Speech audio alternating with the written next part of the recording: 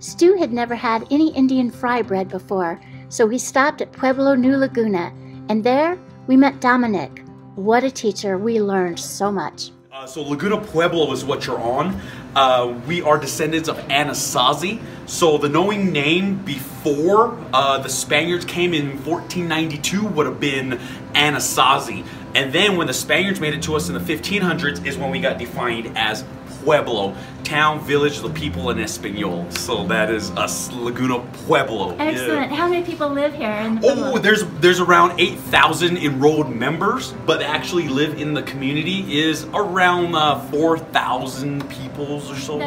The primary way for livelihood is what? Yes, through local government because we are a sovereign nation. So uh, again, local government and then uh, casinos, the businesses, and then of course arts and crafts.